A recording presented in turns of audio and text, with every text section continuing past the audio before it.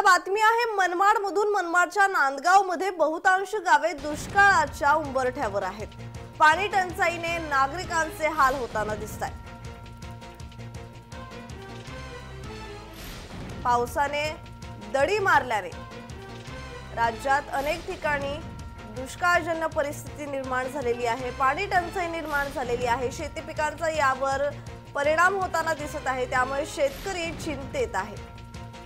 नांदगाव तालुक्यातील बहुतेक गावे पाणी टंचाईने त्रस्त आहेत. नांदगाव तालुक्यातील सर्वात मोठे धरण माणिकपुंज या धरणातही पाणी नसल्याने आता पाणी टंचाईच्या झळा बसू लागल्या.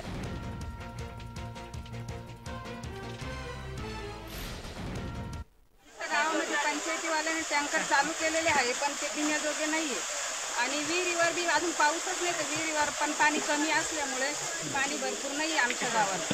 एक ते दीड किलोमीटर अंतरावर जर गेलं तरी पाणी नाही. पाण्याची खूप मोठी समस्या आहे. याच संदर्भात गावकऱ्यांशी बातचीत केली आमचे मनमाडचे प्रतिनिधी संतोष खताले यांनी पाहुयात. नाशिक जिल्ह्यातील नांदगाव मालेगाव चांदवड आदी भागामध्ये पाऊस नसल्यामुळे इथले शेतकरी फार चिंताचूर झाले आहे. सध्या अशी परिस्थिती आहे की चारासुद्धा राहिलेला नाही जनावरांना.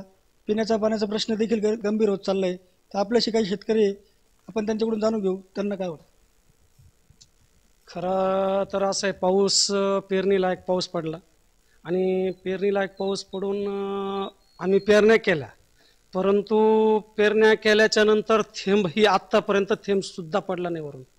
आणि त्याच्यामुळं दुभार परत पेरणी करण्याची वेळ आली आहे. आणि दुभार पेरणी करायची वेळ आली. आत्ता जर का पाऊस पडला तर सरकारने आमची एकच इच्छा आहे. सरकारने बी बियाणं खतं याची आमची सोय करावं शेतकऱ्याची एवढीच इच्छा आहे बाकी काहीच नाही. कारण आमचं सर्व शेतीवर आहे. आणि शेतीवर असून शेतीत काहीच नाही सध्या डायरेक्ट कोरडा पडीत म्हणलं तरी चालेल. पहिले दहा दहा वीस वीस हजार रुपये खर्च करून आम्ही पेरण्या केल्या. आणि त्याच्यावर ते पेरलं तर उगवलं नाही. काही उगवलं तर ते जळून गेलं करपून गेलं आजच्या परिस्थितीमध्ये. बघितलं आपण इथल्या नाशिक जिल्ह्यातील या शेतकऱ्यांच्या भावना आहे. आता तरी सरकारने यांच्याकडे लक्ष देण्याची गरज आहे. जय महाराजसाठी संतोष खताळ मनमाड.